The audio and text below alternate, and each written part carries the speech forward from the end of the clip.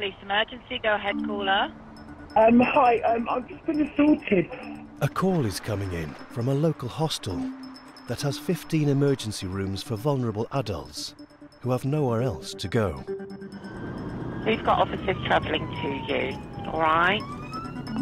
I've been there recently. We're there all the time, aren't we? It's sheltered accommodation for homeless people and people with specific needs. So there are persons there to assist general living. Hello. This is the lady that's called the police. I knocked his door to ask him for a cigarette, like we all do here. Right.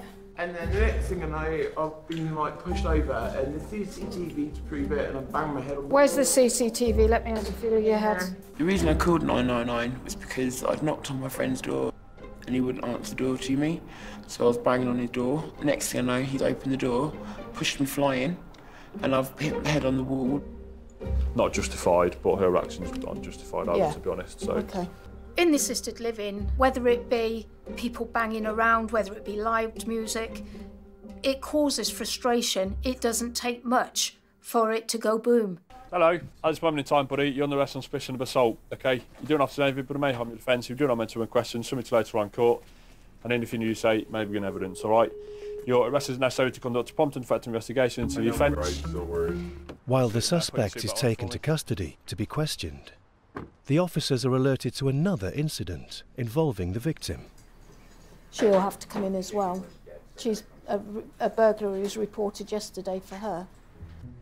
Because it's been alleged that you've entered through a lock through a locked door and st- and stolen a chicken Kiev, I need to inform you that at this time you are under arrest on suspicion of burglary of that room. Okay? After 16 years of doing this job, that was one to remember, and I think that will live with me for quite some while. Right, let's have a look and see what we've captured. Here she comes. Straight in, doesn't even knock. Put a frozen Kiev down her bra. She goes back to her room and she gets in the lift. So, yeah, I mean, that's good enough, isn't it? Yeah, yeah, yeah.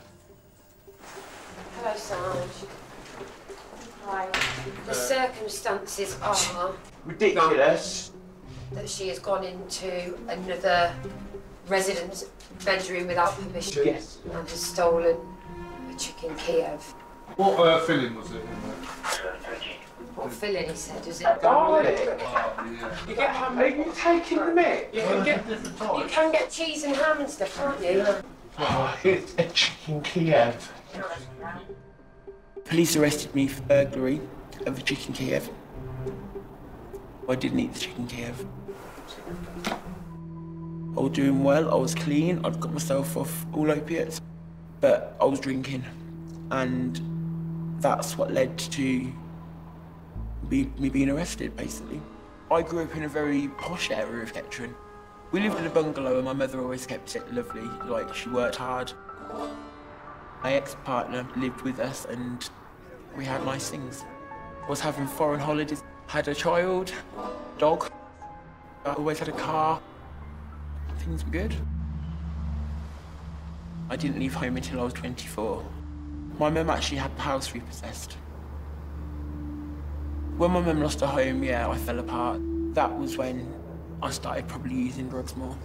We lost the house, we lost the children. That was when we got put in temporary accommodation.